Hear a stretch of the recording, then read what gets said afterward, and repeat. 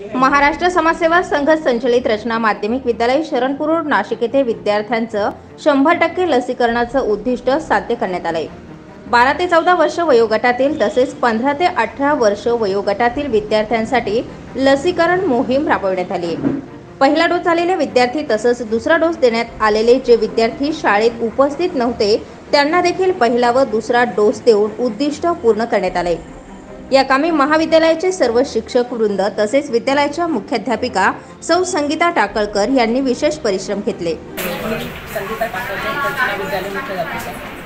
आमच्या शाळेमध्ये पहिला दोन लसीकरण झालेला आहे आणि आम्ही आमच्या दोन लसीकरण सुरू आहे.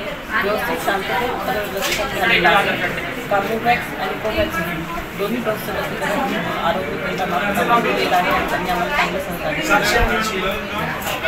संस्थेचे सचिव Shri Sudhakar Mali Yashwant Thoke Sawant madam Buwa madam Shirsat madam तसेच Hire madam Kulkarni madam Wagh sir Bachhav sir आदी शिक्षक वृंद यावेळी उपस्थित होता.